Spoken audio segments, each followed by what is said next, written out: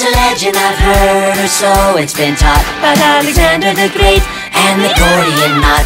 Looked it up on the net so that we could recreate it. Now the knot we have here is quite complicated. It's got bends, loops, splices, bowlines, and lashings. Maybe we can loosen it with just a little thrashing. Square knots, sheep shanks, and all kinds of hitches. When it comes to constraint, there's an embarrassment of riches. It's already a knot, so ready or not, we're gonna try to untie it, though it's terribly taut.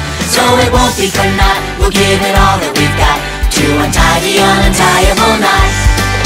We don't know what it is, but we know what it's not. It's not a Gutenberg press or a coffee pot. It's not a car or a tractor, cause the safe's too small.